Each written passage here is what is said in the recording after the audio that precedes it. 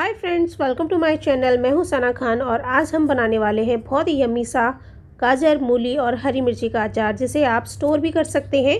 मैं आपके साथ कुछ टिप्स एंड ट्रिक्स भी शेयर करने वाली हूँ, जिससे आपका अचार जल्दी ख़राब नहीं होगा। तो चलिए बनाना शुरू करते हैं। गाजर, मूली और हरी मिर्च का अचार बनाने के लिए मैंने यहाँ पर देखिए एक लिया है मूली। उसको अच्छी तरह से वॉश करके, उसका छिलका निकाल करके छोटे छोटे टुकड़ों में काट लिया है। तीन मैंने गाजर लिए थे और उनको भी मैंने छील करके अच्छी तरह से वॉश किया पहले और उसे छील करके मैंने छोटे छोटे टुकड़ों में काट लिया है। यहाँ पे मैंने सात आठ हरी मिर्च ली हैं, जिसको मैंने इस तरीके से लंबाई में कट कर लिया है, बीच में से काट करके तैयार कर लिया है। तो इन सारी चीज़ों को हम एक बड़े बाउल में, एक बड़े बर्तन में निकाल लेते हैं। तो यहाँ पे हमने एक थाली ले ली है, थाली के अंदर हम इसे निकाल लेंगे। तो यहाँ पे हम अचार में डालेंगे थोड़ा सा नमक और हल्दी। इससे क्या होगा कि जो सब्जियों के अंदर जो थोड़ा मॉइस्चर होता है, वो सारा नमक की वजह से निकल जाएगा। और उस मॉइस्चर को हम निकाल देंगे तो हमारा अचार जो है जल्दी ख़राब नहीं होगा, क्योंकि हमारा जो अचार होता है, वो इसी मॉइस्चर की वजह से, इसी पानी की वजह से ख़राब होता है। तो सब्जियों में हमने डाल दिया आधी छोटी चम्मच हल्दी, एक छोटी चम्मच नमक। नमक थोड़ा सा ज़्यादा डाल सकते हैं इसमें, क्योंकि नमक जो है प्रिजर्वेटिव का काम भी करता है। तो मैंने एक चम्मच भर के नमक डाल दिया इसमें, आधा छोटी चम्मच हल्दी। अच्छी तरह से मिक्स करेंगे और मिक्स करने के बाद हम इसे ढक करके छोड़ देंगे।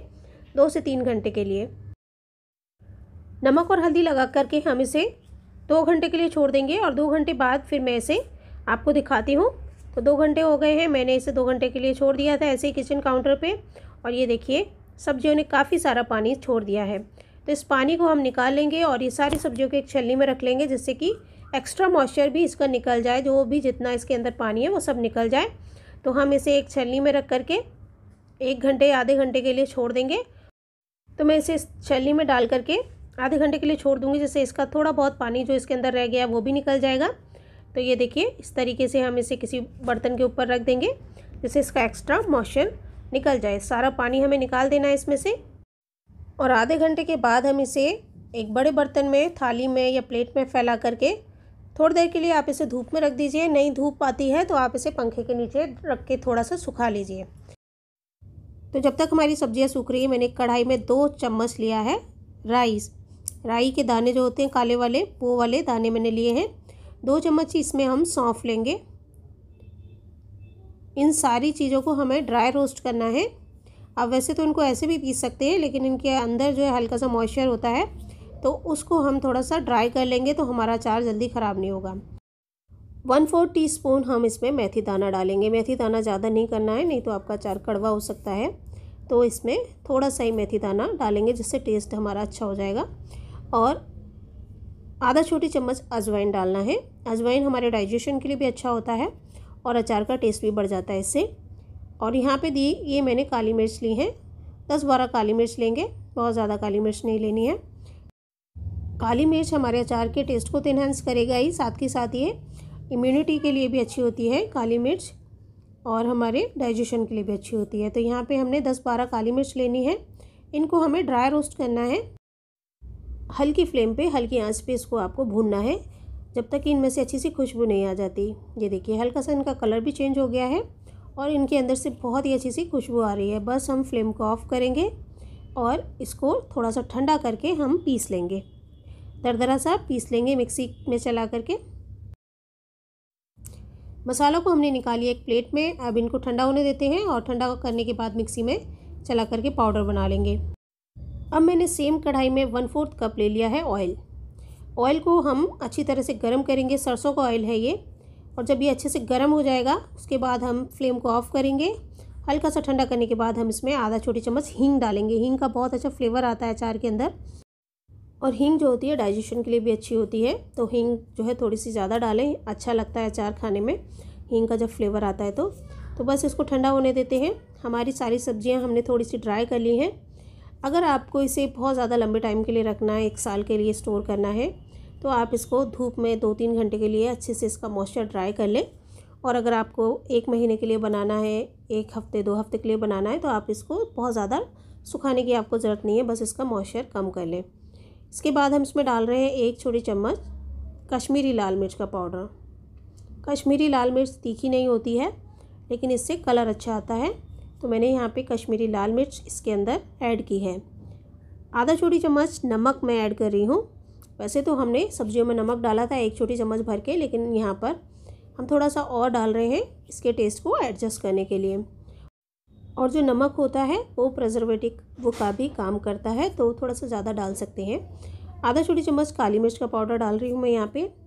और जो हमने मसाला रोस्ट किया था, उसको मैंने यहाँ पे देखिए, इस तरीके से पीस करके तैयार किया है। वो मसाला हम इसके अंदर सारा डाल देंगे। इसको एक बार अच्छी तरह से मिक्स कर देंगे। अचार को मिक्स करने के लिए आपको सूखे चम्मच का ही इस्तेमाल करना है। आपके चम्मच में ज़रा भी पानी या मॉइस्चर नहीं होना चाहिए। जब आप अचार को मिक्स करें तो एक अलग से चम्मच बिल्कुल ड्राई करके फिर आप उससे आप अपने अचार को चलाएँ। तो यहाँ पे मैंने अचार को थोड़ा सा मिक्स कर लिया है। वैसे तो अचार में हमें और कोई चीज़ डालने की ज़रूरत नहीं है अभी। हम सिर्फ़ इसमें तेल डालेंगे, लेकिन हम यहाँ पे अचार को खट्टा मीठा टेस्ट देने के लिए यहाँ पे दो छोटे चम्मच चीनी डाल रहे हैं। इससे बहुत अच्छा टेस्ट हो जाता है इसका खट्टा मीठा सा। हमने जो राई के दाने पीस करके डाले हैं, उससे हमारा अचार खट्टा होगा और जो चीनी डाली है हमने, इससे मीठा होगा। अगर आपको और खट्टा करना है तो एक छोटी चम्मच अमचूर पाउडर डाल सकते हैं आप इसमें। और इसके बाद हम इसमें ऑयल डाल देंगे, जो हमने गर्म किया था, हींग डाल करके। तो हींग वाला ऑयल इसके अंदर पूरा ऐड कर लेंगे और इसको एक बार अच्छी तरह से चला देंगे। अगर आप अचार को बहुत ज़्यादा लंबे टाइम के लिए स्टोर करना चाहते हैं तो आपको यहाँ पे ऑयल की क्वांटिटी बढ़ानी पड़ेगी। यहाँ पे आपको तकरीबन आधा कप ऑयल डालना पड़ेगा इतने अचार में और उसके बाद आपको इसको धूप दिखानी पड़ेगी। मैं इसको ज़्यादा टाइम स्टोर नहीं करूँगी। मेरे यहाँ पे अचार पंद्रह दिन या एक महीने में ख़त्म हो जाएगा। इससे ज़्यादा नहीं चलेगा। तो बस मैं इसको ज़्यादा तेल में इसमें नहीं डालूँगी, कम ऑयल में ही बनाऊँगी। तो अगर आपको इसे लंबे टाइम के लिए स्टोर करना है तो कुछ चीज़ों को आपको ध्यान में रखना पड़ेगा। जैसे आपको अचार में थोड़ा सा ज़्यादा ऑयल डालना पड़ेगा आप वन फोर्थ कप की जगह आधा कप ऑयल इसमें डालें तो आपका अचार थोड़े ज़्यादा लंबे टाइम के लिए चलेगा। सब्जियों को आपको थोड़ा सा ज़्यादा देर के लिए ड्राई करना पड़ेगा। धूप में ड्राई करेंगे तो और ज़्यादा अच्छा रहेगा, जिससे आपका अचार काफ़ी लंबे टाइम तक ख़राब नहीं होगा। जब भी आप अचार को स्टोर करेंगे तो आप फ़ूड ग्रेड कंटेनर में प्लास्टिक के कंटेनर में या फिर किसी कांच के कंटेनर में आप इसे स्टोर करें। जब भी कंटेनर को वॉश करें, अच्छी तरह से आप धूप में सुखा लें उसको या फिर माइक्रोवेव में सुखा लें। अच्छे से सुखाने के बाद ही आप अचार को उसके अंदर भर के रखें। अगर फिर भी लगता है आपको कि हमारा अचार जल्दी ख़राब हो जाएगा तो आप इसमें विनेगर डाल सकते हैं। चार छोटे चम्मच विनेगर डाल करके आप इसमें रख दीजिए, आपका अचार नहीं ख़राब होगा। और जब भी आप अचार निकालें कंटेनर से तो आप बिल्कुल सूखे चम्मच का इस्तेमाल करें। बिल्कुल भी मॉइस्चर ना हो, चम्मच के ऊपर गीला चम्मच इस्तेमाल नहीं करें कंटेनर के अंदर। तो इन चीज़ों को ध्यान में रख के आप अगर अपने अचार को स्टोर करेंगे, अपने अचार को रख रखाव करेंगे तो आपका अचार सालों साल ख़राब नहीं होगा। तो आप इस अचार की रेसिपी को ट्राई करें, वीडियो अच्छी लगे तो वीडियो को लाइक करें शेयर करें एंड थैंक्स फॉर वॉचिंग